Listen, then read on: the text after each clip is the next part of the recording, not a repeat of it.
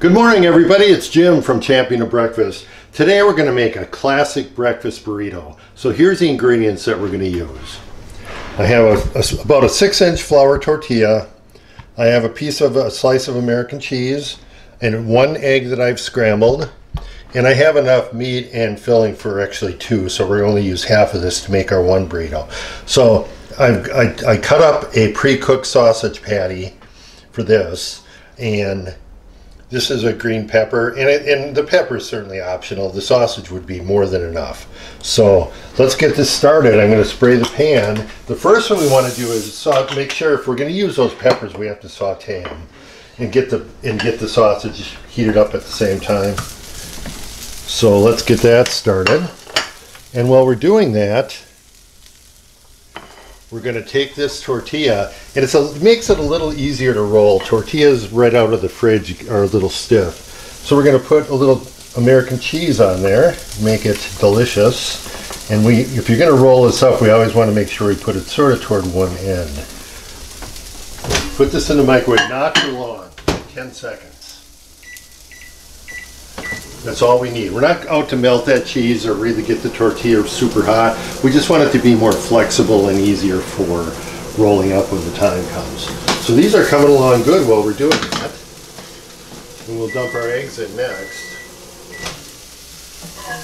So again, the cheese you can see is sort of starting to melt a little bit, but um, the idea is to, like I said, to get it to be flexible and, and easy to work with the heat from the egg and the, and the other stuff will. So we dump our scrambled egg in there. That's one egg. This is probably going to be a little bit too much for a six inch burrito. If you're using like a, a, a bigger tortilla, this would probably be about the right amount, but we're going to have to cut back. One thing we don't want to do is overfill it, because when you overfill the burrito, it makes it very difficult to roll and I'm going to tip you off. Rolling is not my strong suit. But we'll do the best we can. So this is about ready already. So you can see this is a very quick recipe.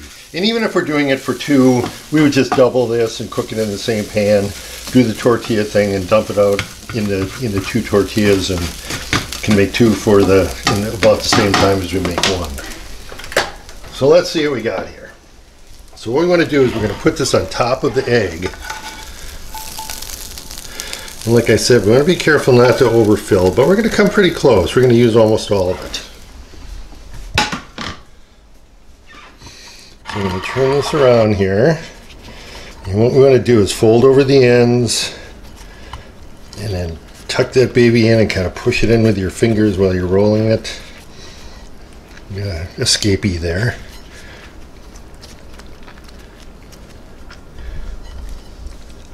And that is it.